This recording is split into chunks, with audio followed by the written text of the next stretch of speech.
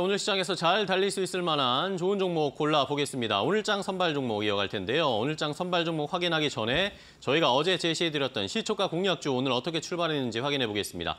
자, 저희가 어제 파이널샷 프로그램에서 시초가 공략주로 제시해드린 종목이 어제 핫했죠. 현대차였습니다. 자, 이청원 하이투자증권 PB가 현대차를 오늘도 시초가에 한번 공략해보자라는 의견을 어, 줬는데 뭐 수소차 그리고 중국에서의 이슈 여러 가지 긍정적인 면들이 많다라는 의견을 주시면서 오늘 시초가가 2만, 27만 3,500원이었고요. 목표 가격은 27만 5천 원으로 제시를 했습니다. 자, 오늘 현대차 조금 조정을 받고 있긴 한데 흐름을 확인해 볼까요?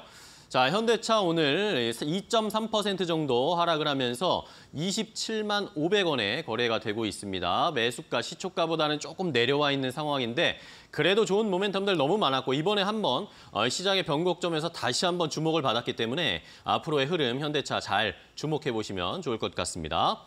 자 이렇게 시초가 공략주 확인을 해봤고 이제 오늘장 선발 종목으로 바로 이어가겠습니다. 오늘도 양질의 종목으로 오늘 시장에서 잘 달릴 수 있을 종목 소개해드릴 텐데요.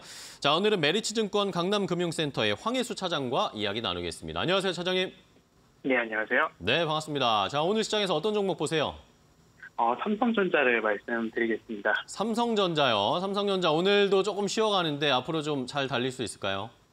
아, 그렇습니다. 우선 어제 엔비디아의 실적 발표와 컨퍼런스 콜 오늘 새벽에 있었던 컨퍼런스 콜을 통해서 AI 반도체 산업이 여전히 꾸준하게 상승하고 있다는 점을 확인을 했는데요.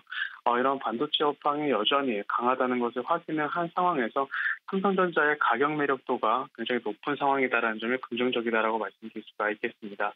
물론 동사와 SK 하이닉스의 주가가 어, 최근 들어서 굉장히 극명하게 나눠지고 있는 상황인데요. 이는 바로 그 HBM 반도체에서의 기술 우위에서 삼성전자가 어, SK 하이닉스에 뒤처지면서 나타난 결과다라고 말씀드릴 수가 있겠습니다. 하지만 동사 같은 경우에는 글로벌 캐파 1위 반도체 업체로서 하반기부터 이런 기술 격차를 조금씩 따라잡을 것으로 전망이 되고 있고 어, HBM, AI 반도체 이외에도 legacy 반도체, 피, 메모리와 비메로 비메모리 반도체 업황이 하반기부터는 개선될 것으로 전망이 되기 때문에 이에 따른 어, 실적 성장과 어, 이 성장 모멘텀이 기대되는 부분이다라고 말씀드릴 수가 있겠습니다. 또한 현재 주가 같은 경우에는 올해 예상되는 실적 대비 PBR이 1.2배 수준으로 거래되고 있는 상황이기 때문에 굉장히 가격 매력도가 높다라는 점을 다시 한번 말씀드릴 수가 있겠고요. 공사 같은 경우는 최근 반도체 그 이번까지 어, 물갈이를 하면서 교체를 하면서 이런 그 다시 한번 의지를 다지고 있는 상황 상황인데 어, AI 반도체 관련된 수주 모멘텀이라든지 일부 긍정적인 소식이 나타나게 된다면 어, 주가가 탄력적으로 작용할 수 있는 위치까지 어, 하락해 있는 상황이다 이렇게 말씀드릴 수가 있겠습니다. 네, 삼성전자 일단은 오늘도 약간 조정 받으면서 7만 7천 원대까지 어느새 내려왔습니다. 그러면은 가격 전략은 어떻게 잡을까요?